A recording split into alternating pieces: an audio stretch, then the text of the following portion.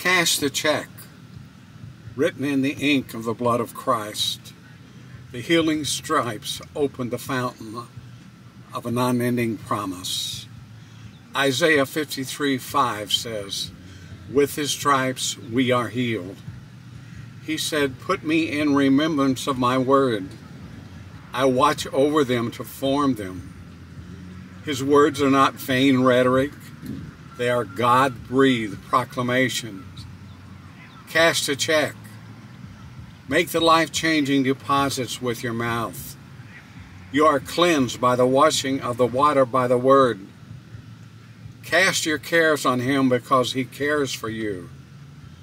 Replace your concerns with his caring promises.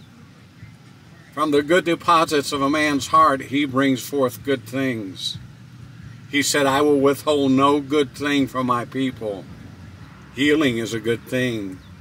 You cast down every evil imagination that exalteth itself against the word of God. Think on whatsoever is lovely, and whatsoever is pure, and whatsoever is good report. The good report is His word, is healing medicine. It is health to all your flesh.